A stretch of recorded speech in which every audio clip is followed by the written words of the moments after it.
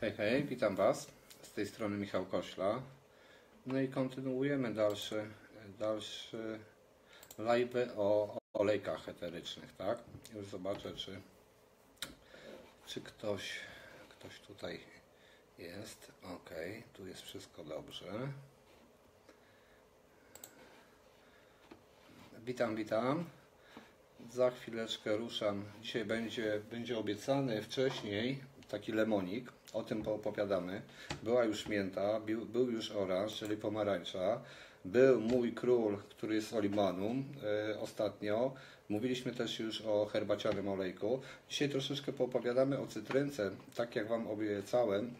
A jest to naprawdę e, olejek też, który każdemu polecam, gdzie u każdego powinien zagościć w domu. Dlaczego? Dlatego, że ma tak jak każdy olejek eteryczny, wspaniałe właściwości, tak? Jest przede wszystkim e, bliżej e, do natury nam z tymi olejkami. Dobrze, ale słuchajcie, lemon, olejek cytrynowy to też jest cytryna. Pierwsze takie wzmianki o cytrynach dotyczą chyba udokumentowane, to jest pierwszy wiek naszej ery. E, przypuszczalnie samo drzewo cytrynowe i cytryna pochodzi e, z południowej wschodniej Azji, to jest rejony też I, lub Indii, południowe Chiny, gdzieś tam jest dotowane. Mm, taką skalę masową, przemysłową e, produkcji cytryn zaczęli, zaczęli Persowie i Palestyńczycy. To był gdzieś tam okres XII wieku. Później e, sama cytryna, drzewo cytrynowe już się rozpowszechniło e, przede wszystkim najpierw na kraje śródziemnomorskie, bo tam, tam był ten naj, najbardziej sprzyjający klimat. Mm, sam sok z cytryny, czy cytryna, generalnie popularność e, zyskała dosyć mocną od XVII wieku. A to jest dlatego, że marynarze pływający chorowali na szkorbut. I tak naprawdę wprowadzono nakaz im picia e, tego soku cytrynowego, aby, e, aby, aby uniknąć tego szkorbutu i też wzmocnić jakby odporność organizmu. Słuchajcie, na dzisiejszych, w dzisiejszych czasach mm, najwięcej produkcji cytryny czy soków cytrynowych to oczywiście Stany Zjednoczone. W Ameryce Południowej to Argentyna i Brazylia. No ale dlaczego Stany Zjednoczone? W Stanach Zjednoczonych w XIX wieku wyprodukowano na skalę też przemysłową e, pierwsze, pierwsze soki e, cytrynowe. Też, też dlatego tam ta produkcja. E, cytryna, nie wiem czy, czy widzieliście drzewo cytrynowe. Nie jest duże, jest to między 5 a 10 metrów, ale należy do tak zwanych wiecznie zielonych. E, co to oznacza? Zawsze te liście są zielonkawe. W przypadku cytryny to jest taki kolor jasno-zielony, e, ma ten biały e, kwiatostan, a owoce różne, bo to w zależności od odmiany, albo może widzieliście zieloną cytrynę lub charakterystyczną taką żółtą, tak? Jak jest wytwarzany? E, olejek jest wytwarzany przede wszystkim e, ze skórki cytryna. I to, jest, to nie jest metoda parowa, ta popularna, o której wcześniej mówiłem, tylko jest e, metodą tłoczenia na zimno, tak? Dlatego, że mm, tutaj kwas też askorbinowy i sam, same estry, które zawarte są w cytrynie, nie za bardzo lubią ciepła. Więc tu jest metoda całkowicie na zimno. E, po otrzymaniu sam olejek, nie wiem, na pewno macie takie olejki lub, lub wzięliście sok z cytryny, jak wyciskaliście, jest bardzo podobny. On może być od bezbarwnego do takiego jasno-żółtego. Co charakteryzuje to zapach przede wszystkim, taki bardzo intensywny ten cytrynowy zapach, tak?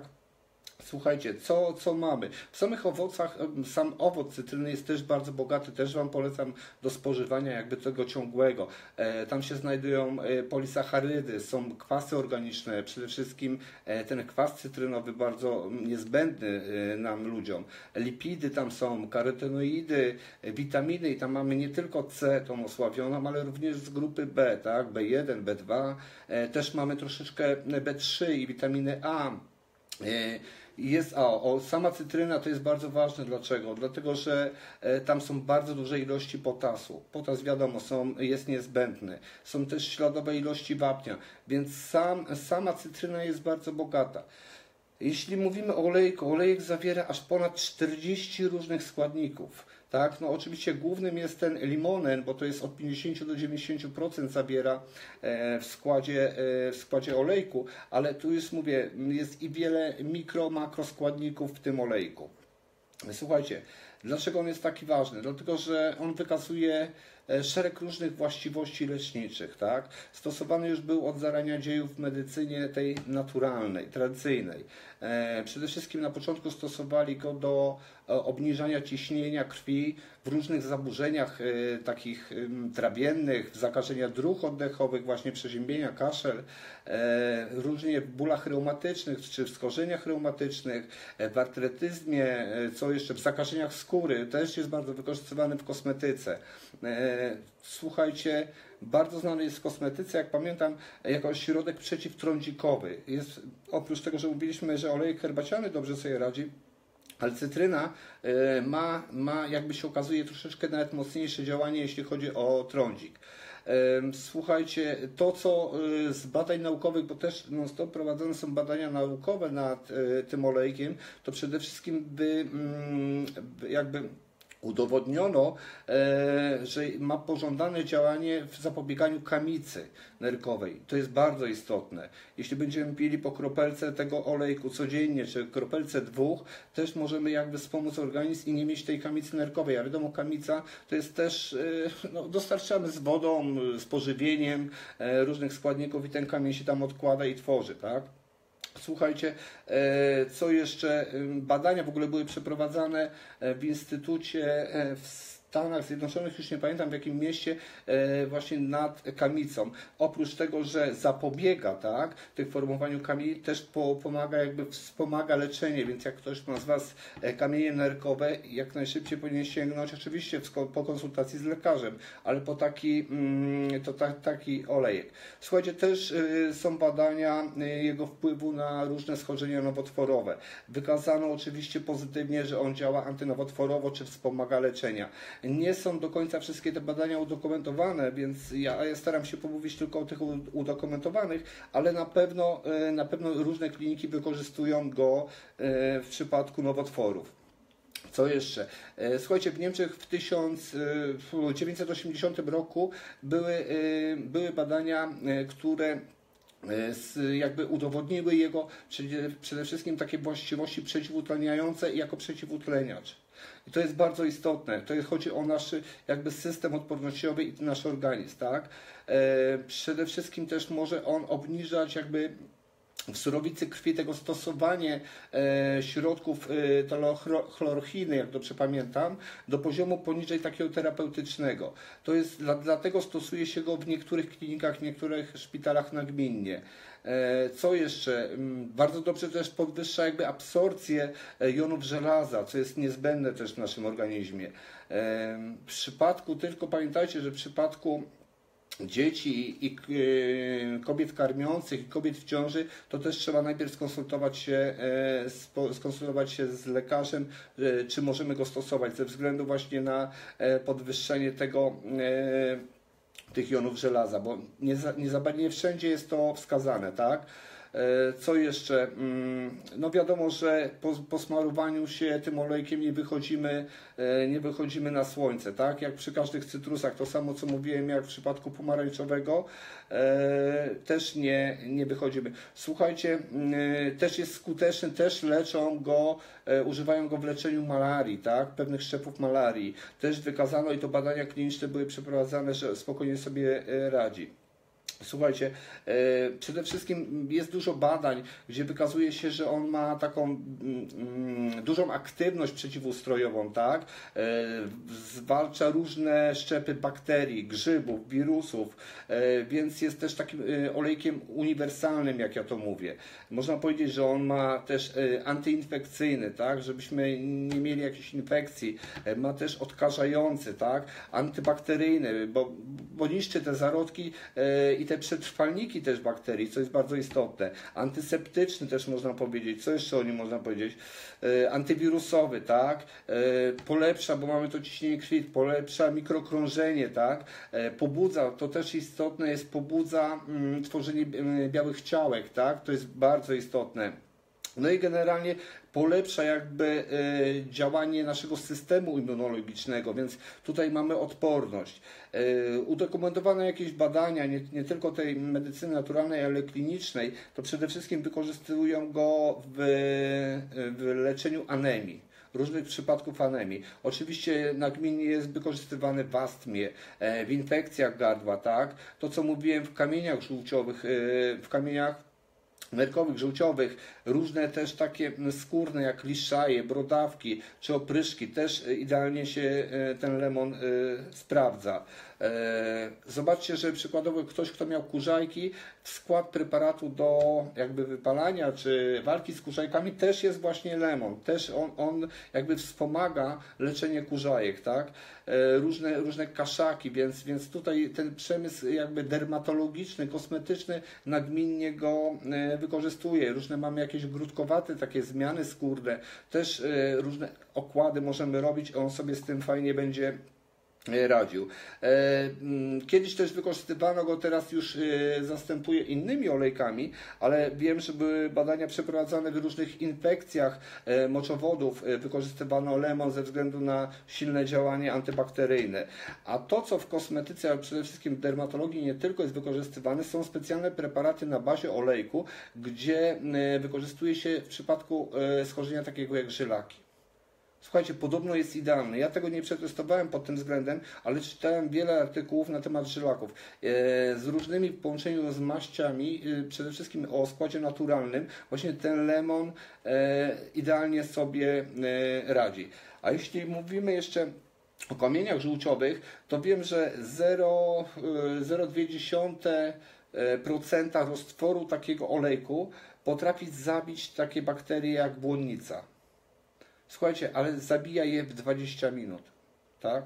W ciągu dwóch godzin potrafi obezwładnić bakterie przykładowo gruźlicy. Tak jest silnym środkiem, tak jest silnym, e, naturalnym, e, można powiedzieć, antybiotykiem, który dostarczamy. Tak? E, co jeszcze? E, przede wszystkim e, oczyszczanie. Olejek był nagminnie kiedyś stosowany i teraz też jest w różny, w różny do oczyszczania czy pomieszczeń, czy skóry, też, e, czy poprzez inhalację, wcieranie z różnymi maściami. Słuchajcie, co jeszcze? Ma takie. Mm, ma e, różne były badania, przede wszystkim e, takie jedno fajne badanie czytałem dzisiaj nawet, było przeprowadzone, już nie pamiętam jak się nazywał ten profesor w zamkniętym pomieszczeniu. Położyli próbówki z różnymi szczepami bakterii i słuchajcie, rozpylili właśnie ekstrakt olejku eterycznego i sprawdzono po jakim czasie bakterie zostały zniszczone, tylko zniszczone trwale. I powiem tak, tak takie bakterie jak mm, pałeczki duru już były w godzinę, e, nie wykazywały żadnej aktywności. E, gronkowiec złocisty, który jest bardzo popularny w szpitalach, już po dwóch godzinach zero aktywności. Czy bakterie powodujące zapalenie płuc, e, to był okres około 3 godzin. Zobaczcie, jak on jest skuteczny. Tak naprawdę zniszczyć takie bakterie nie jeden antybiotyk sobie nie radzi. Tutaj ma zastosowanie dlatego w medycynie. Słuchajcie, i druga kwestia. Oczywiście ja go rozpylam, jak zawsze. Może nie widać było tego dyfuzorka, stawiam tutaj, żeby jakieś opary. E, bo na co ma wpływ? Na osoby, jeśli czujemy taki niepokój, lęk, trwogę przed czymś, wystarczy też sobie rozpylić, czy zrobić inhalację. Idealnie, e, idealnie się zachowuje. E, właśnie takie mm, dalej kwestia. Ja miętę używam na jakieś problemy trawienne, ale w połączeniu mięty, zresztą Wam powiem jak stosuję w ogóle ten zestaw mięta e, i lemon, też, też może cytrynka wpływać nam jakby na regulację, tak? Czy to kwasowości, czy, czy powiedzmy na te nasze problemy, coś za dużo zjedliśmy, nie mamy mięty, możemy cytrynę e, wykorzystać. Co jeszcze? E, też mówiłem o tym niepokoju. Na pewno polepsza, tak jak cytrusy, generalnie polepsza pamięć. Mamy jakieś takie skupienie większe. Powoduje też, tak jak zapach tego przez inhalację cytrusu, że mamy takie E, sukces odnieśliśmy, takie powodzenie, euforię, tak? E, generalnie to, to, nam, to nam też daje takie odczucie. E, w kosmetyce wiem, że też jest stosowane, bo u mnie dziewczyny wykorzystywały do wzmacniania paznokci. Robią sobie tamponik, mieszają z bazowym i, i gdzieś tam paznokietki sobie smarują tym. Podobno idealnie wzmacnia. Te paznokcie są rzeczywiście niełamliwe, nie kruche, tylko, tylko takie, takie ładne, tak? Ja, ja może paznokci nie, nie smaruję, ale, ale bierze dziewczyną u siebie w domu, a mam ich trzy. Dobrze. Jak generalnie go stosujemy? Tak jak widzicie, e, inhalacje różne, tak? Mamy te kominki. E, możemy robić e, masaże. E, masaże w zależności jaka część ciała, czy to ruchy posufiste, czy półokrągłe, w zależności też e, co chcemy uzyskać. E, do kąpieli idealnie się nadaje. E, do panie, które, czy panowie, którzy produkują swoje naturalne e, z, e, kosmetyki, to na pewno nigdy nie zapomną o olejku cytrynowym, bo to jest podstawowy e, składnik, tak? Zresztą bardzo fajnie też się e, miesza z innymi olejkami. Ja mówię, ja z miętą go mieszam, e, z olibaną, co mówiłem ostatnio w piątek, e, też go mieszam idealnie i z grejpfrutem. Akurat takie mieszanki mi odpowiadają, ale też można z większą ilością. No i pamiętajcie, że e, wrażliwa skóra, niestety olejek bazowy, tak? Bo to jest, e, to, są- to są silne estry, więc e, jeśli macie jakiekolwiek odczyny, czy cokolwiek masaże przeprowadzacie tego ciała dogłębnej, duże części partii ciała, to zawsze stosujcie ten, mm, ten, ten olejek bazowy.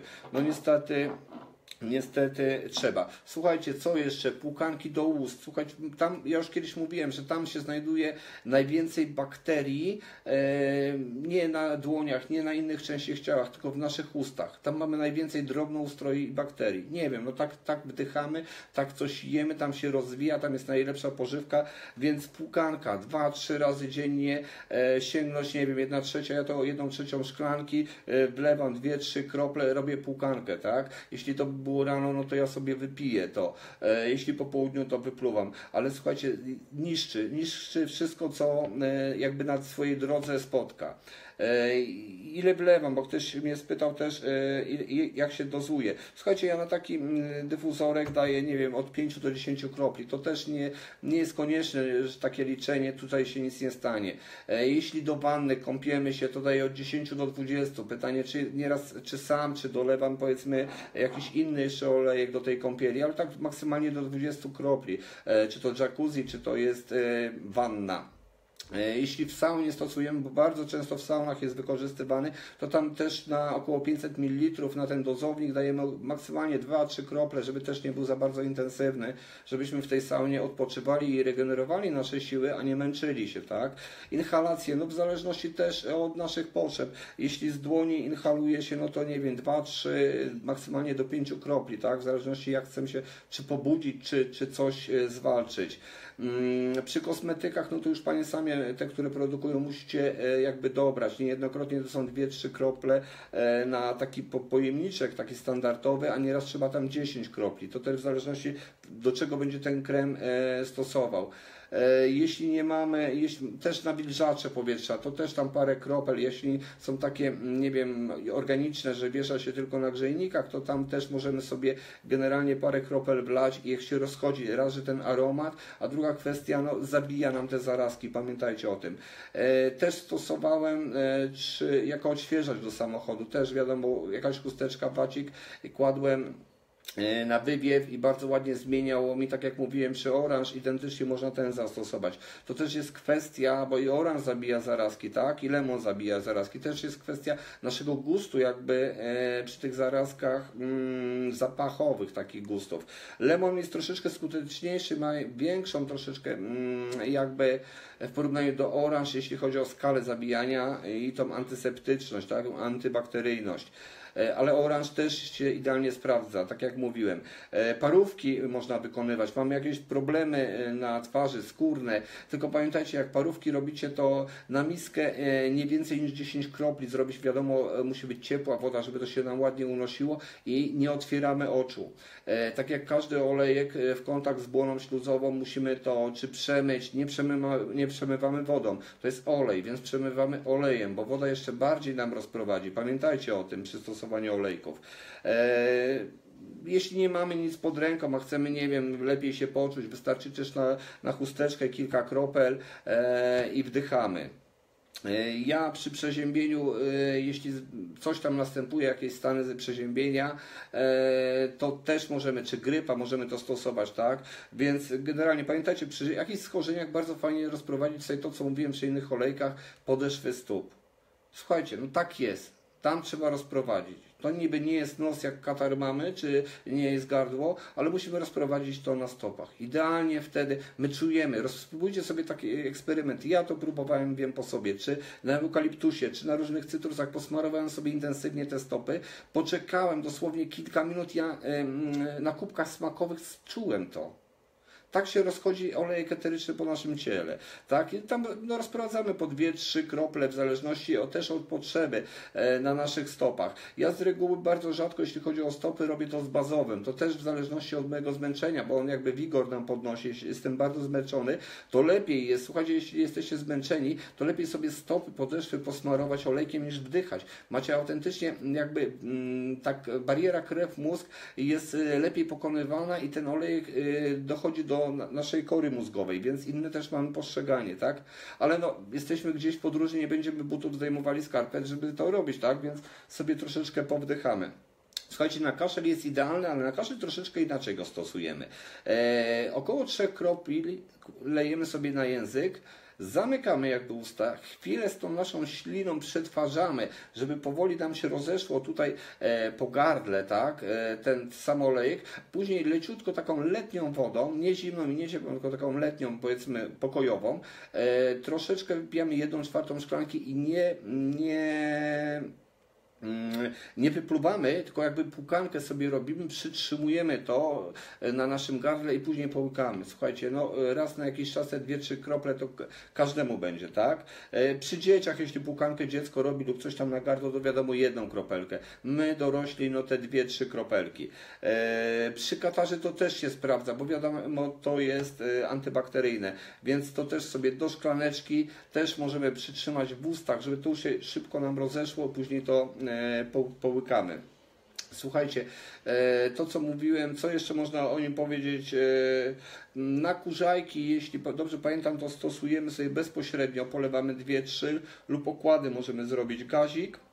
Po co odkłady? Dlatego, że to jest lotne, tak? A nie chcemy przy kurzajkach, chcemy jakoś bardziej go mocniej zastosować, więc lejemy bezpośrednio na daną kurzajkę, gdzieś tam na dłoni mamy, czy w innym części ciała i okład robimy jakby z tego olejku. Możemy na sam gazik nalać bazowy, tak, żeby, bo olejek eteryczny jest y, lotny, ulatnia się, a my chcemy, żeby przede wszystkim na daną część jak najwięcej e, dostarczyć tego. E, co jeszcze? Mamy Słuchajcie, e, mamy, mamy problemy z łupieżem, mamy problemy e, jakieś skórne na głowie. Też możemy dodać do jakiegoś dobrego, naturalnego e, szamponu po kilka kropel i sobie myć, tak? Więc, więc to jest jeden. Oczywiście jak nie macie, nie macie tego naszego mm, szamponu, o którym mówiłem, z, z olejku charbyczanego, bo tamten też się kapitalnie sprawdza. Jeśli nie mamy, mamy pod dostępem cytrynowym, mamy łupież, mamy jakieś swędzenia skórne na głowie, zastosujcie go, zobaczycie e, poprawę i to naprawdę poprawę bardzo szybko. E, słuchajcie, to co e, to, co mówiłem jeszcze o tym uspokajaniu, zapomniałem o jednej rzeczy, teraz sobie przypomniałem powiedzieć. Były przeprowadzane w Wielkiej Brytanii badania odnośnie działania takiego tonizującego, uspokajającego tego olejku. E, przeprowadzono w jednej szkole badania, że mm, postawili dyfuzory na korytarzach. Robili to przez okres jednego miesiąca. Dodawano sam olejek cytrynowy. Słuchajcie, i co wykazały badania? Odnotowano przede wszystkim spadek agresji ta atmosfera, takiej z, powstała atmosfera takiej zwiększonego porozumienia się, przyjaźni, e, też skupienia. E, przede wszystkim wynikiem później tego były lepsze, lepsze oceny tak, na tych świadectwach. Ale generalnie mówię, przez miesiąc stosowali to w danej szkole. No i bardzo fajne jest to opisane, właśnie krok po kroku czytałem to E, jakie pozytywne skutki odniósł właśnie olejek. Jakby w uspokajaniu, w uspokajaniu, w skupieniu, e, więc mówię, nie tylko skórne, nie tylko wewnętrzne, ale tak jak każdy naturalny składnik ma maksymalnie dużo e, zastosowań. Ja nimi, a i co jeszcze nie, nie liczyłem, wyskoczyło mi zimno, tak? Taka opryszka, no nie wiem, pewnie, pewnie każdy z nas miał to, przechodził. Stosowałem herbaciany, herbaciany też fajnie mi zadziałał, ale powiem, że skuteczniejszy był lemon w tym e, przypadku. Jakby szybciej sobie poradził niż herbaciany, aczkolwiek jak nie macie lemonu, to wiadomo herbaciany wtedy stosujecie. Tak samo jak macie, mm, bardzo popularne są różne afty, tak? Takie owrzodzenia jamy ustnej. Te, też to jest choroba e, dosyć nieprzyjemna, ale występująca. Robimy sobie płukanki, tak? E, robimy tylko takie w mocnym stężeniu. E, 3, 4, 5 na jedną trzecią szklanki my to płuczemy, tak? I przytrzymujemy to, ale później no, wypluwamy. To już tego nie, nie łykamy, tylko wypluwamy. E, co jeszcze może być? Mm, słuchajcie, no tak, dezynfekcja to też, e, jeśli macie olejek, cały dom od czasu do czasu sobie e, gdzieś tam przepryskać, zrobić takim pojemniku, jak macie e, do mycia szyb, tak? Taki dozowniczek też pochodzi, stężenie mocniejsze i, i jak nam to wszystko wypali. Słuchajcie, pamiętacie solumela? Kto ma solumela? Większość z Was używało. A co jest w solumelu? Jest właśnie olejek. Olejek herbaciany, dlatego ten solumel też jest tak skuteczny. Słuchajcie, ten olejek i solumel oczywiście idealnie usuwa różne gumy, kleje. Macie gdzieś tam e, w swoich dywanach. To jest właśnie zasługa e, olejku eterycznego e, tego lemon że on tak idealnie z tym sobie radzi. Z częścią plam sobie też wspaniale radzi dzięki właśnie zastosowaniu olejku e, cytrynowego.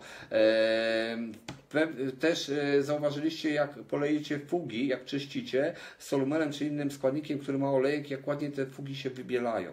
Zobaczcie, jak ładnie on trawi jak, mm, to, te zabrudzenia.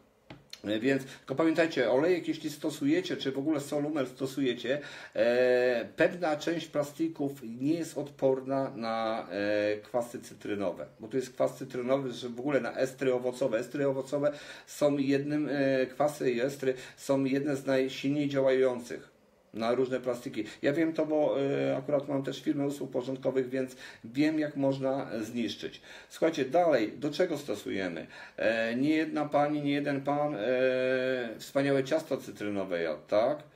wlejemy sobie kropeleczkę gdzieś do naszych wypieków. Słuchajcie, tak jak Was namawiałem, żebyście kiedykolwiek spróbowali miętę. Kochani, spróbujcie miętę. Moi drodzy, to jest coś wspaniałego zmiętowe ciasto zjeść, tak, na naszym olejku.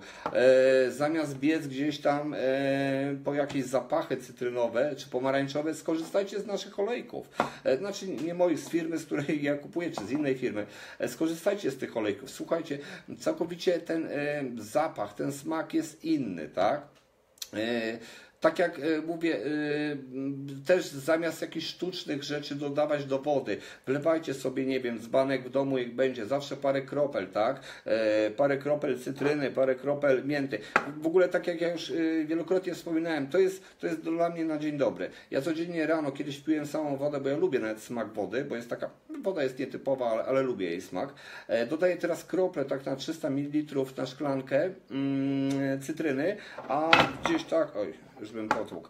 E, gdzieś tak po 17 wypijam sobie szklaneczkę z miętą. Słuchajcie, to wspaniale jakby też raz, że mój organizm jest e, ciągle odświeżony. Też pozbywam się drobnoustroju w tych niechcianych w naszym organizmie. E, idealnie sobie radzi jeden czy drugi olejek, tak? Słuchajcie, też pamiętajcie, że kosmetyki, tak jak w przypadku oranż, kosmetyki z olejkiem cytrynowym, tutaj mam, nie mam, a, mam grapefruit, oranż nie mam teraz.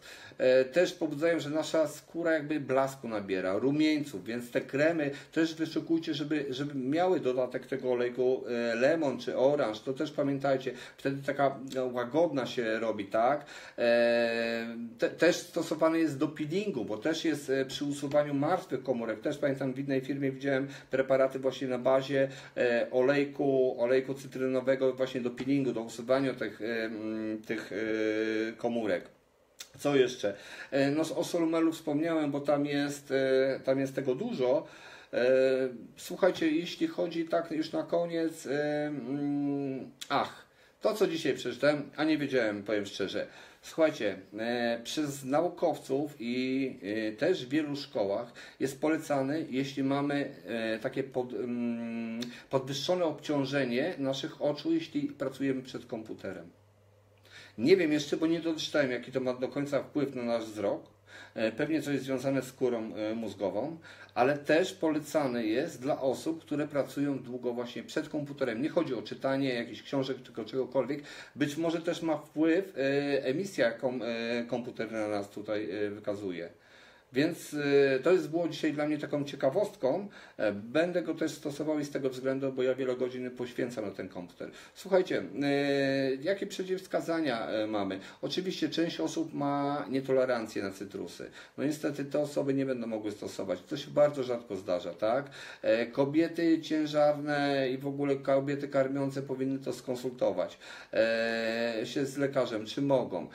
Dzieci też mówi wszystkie założenia, że poniżej 6 roku powinniśmy się skonsultować lub delikatnie. Test, przypominam, na każdym live robimy tutaj na zgięciu łokcia, robimy na e, szyi, czy mamy jakiekolwiek odczyny alergiczne. E, pamiętajcie, to jest Wasze zdrowie. Wprowadzając komórki, e, te, przepraszam, olejki, dostarczacie sobie zdrowia i dbacie o swoje zdrowie, ale też zwracajcie uwagę, czy nie macie jakichś odczynów alergicznych. Tych olejków mamy tak bogatą gamę, że na pewno dobierzecie, jak nie cytrynę, to miętę, jak nie miętę, e, to mojego króla olibanum, tak, kadzidłowca, który jest rzeczywiście mega olejkiem, ale każdy olejek tak naprawdę każdy olejek warto zastosować, e, dobrać, bo nasz organizm, każdy organizm też jest inny, tak? Na jednego będzie ten olejek oddziaływał, na drugiego będzie inny olejek oddziaływał. W każdym bądź razie, pamiętajcie, to jest czysta natura. Więc jeszcze raz mówię, zamiast, tak jak już na każdym chyba live mówię, zamiast biegać do apteki, zamiast struć się chemią, czy używać powiedzmy chemii do sprzątania, pamiętajcie co powiedziałem, składnik solumela. To jest kultowy, solumel w ogóle jest kultowym produktem pewnej firmy, ci, co wiedzą, to wiedzą e, i wiedzą, dlaczego ten Solumel teraz jest tak skuteczny, bo, bo to jest. Ok, więc słuchajcie, polecam, no pozbądźcie się tych chemicznych, drażniących, e, zabijających nasz, nasz organizm. Ja to się niejednokrotnie dziwię. E, mama niby kocha swoje dziecko, tak, wszystko by oddała, serce by oddała, a truje go, nie wiem, lizakami, słodyczami, później chemią toksyczną w domu. No jaka to jest miłość, ludzie? Albo kochamy te nasze pociechy, albo nie kochamy, zastanówcie się. Niszczymy od małego ich organizm, tak? Więc przynajmniej postarajcie się zadbać. Ja, ja nie sprzedaję tego, żebyście mnie źle nie zrozumieli. Nie robię żadnej kampanii reklamowej, żeby sprzedać te olejki. Sam je kupuję. E, tylko chciałbym, żebyście w końcu zrozumieli, że trzeba dbać o siebie. Dobrze, ale się rozgadałem. Dzięki śliczne za udział w moim live. Jeśli Wam się spodobało, to zostawcie jakiegoś lajka, serduszko, udostępnijcie. Eee, skomentujcie, przede wszystkim miło będzie mi czytać Wasze komentarze, bo w trakcie to nie za bardzo wszystkie widzę, bo gdzieś ten telefon jest tam oddalony. Jutro postaram się zrobić, no właśnie, jutro jaki? Może pociągniemy cytrusy, cytrusy, a nie, jutro zrobimy taki, taki, taki, taki też fajny olejek lawendowy.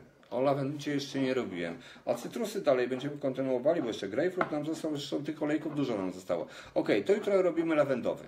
Lawenda też jest wspaniałym olejkiem, wycisza. To jutro poopowiadam. Dzięki, do usłyszenia, do zobaczenia.